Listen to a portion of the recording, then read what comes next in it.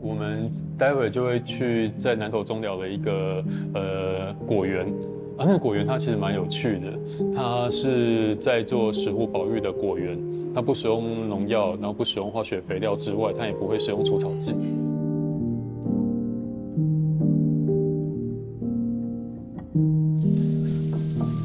它根系也不错，有没有？然后你看它的土壤是有没有很松？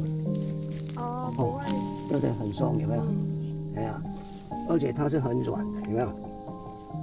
有没有？松松软软的，有没有？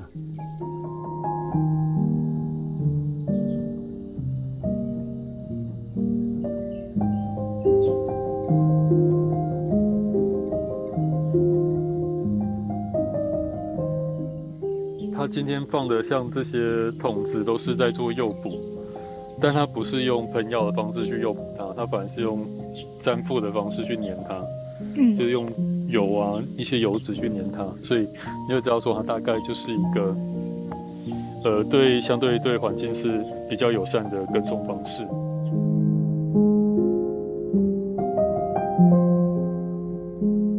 其实我觉得，呃，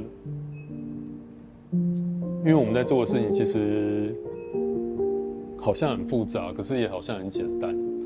对啊，因为我会学，我会希望说，大家在购买行动上面的时候，也可以把自己思考一下，说自己到底想要什么的环境的未来。我觉得，如果大家达成到这样子的一个想法了之后，就算是呃许愿已经不在了，其实我觉得相对的，它也可以持续下去。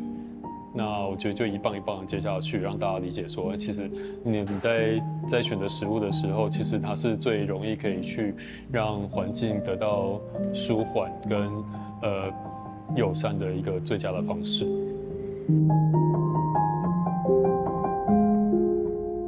我可以打火箭的。好，安尼蔡大哥，谢谢。